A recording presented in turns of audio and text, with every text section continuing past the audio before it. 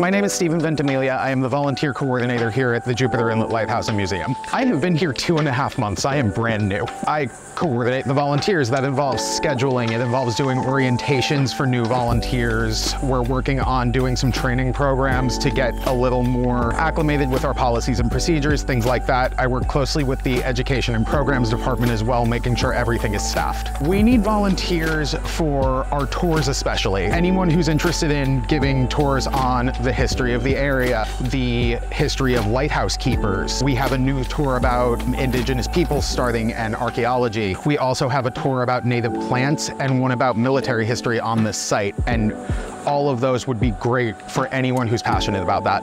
I didn't know that the lighthouse was built on the hill and the fact that it was originally designed by the Union General at Gettysburg but the land was scouted by the Confederate general at Gettysburg is really interesting to me, just a little small world kind of thing. I get to meet the most interesting people. We have amazing volunteers and my coworkers are awesome.